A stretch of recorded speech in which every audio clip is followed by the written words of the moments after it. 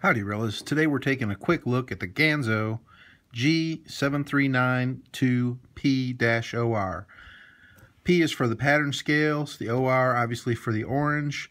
It looks familiar. A lot of people say it is based on the Benchmade Griptilian.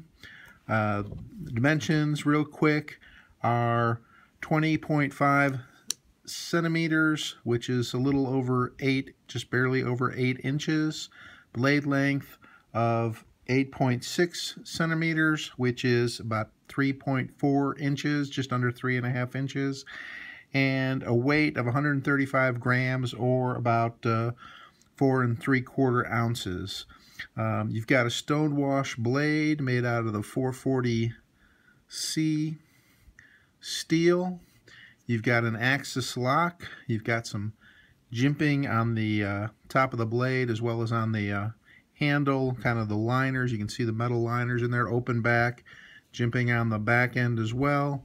Um, one interesting thing on this is that you've got the stonewash blade, but you've got a kind of a mirror polish on the uh, clip. So for those of you that don't like that disjointed look of the stonewash in the mirror, uh, this might not be the blade for you. But for under 20 bucks. I want to say somewhere in the uh, this one, uh, even off of Amazon, you can get it for like 17, 16.95 or something. And uh, instead of waiting a month for it to come from China, you get it in about a week. So this is one of the ones that is available on Amazon.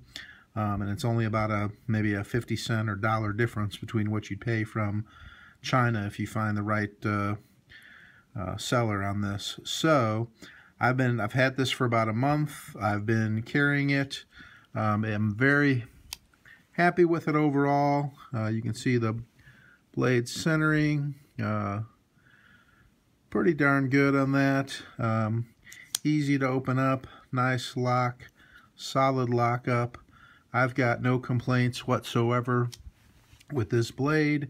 Um, I could cut paper with it, but you know, it it does cut. It was sharp out of the box. I don't. I think you've seen enough people slicing paper. I don't know that that makes any much uh, too much difference in your buying decision.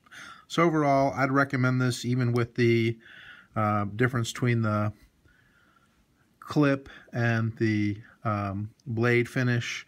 Uh, you have uh, tip up carry and on either side. Um, nice lanyard hole, uh, solid. Um, steel liners. So overall, again, this gets my recommendation. I've been happy with most of the Ganzos that I've purchased, and this is a nice looking knife uh, for, uh, you know, well under 20 bucks, about 17, 16, 17 bucks. So this is the 400 pound gorilla out.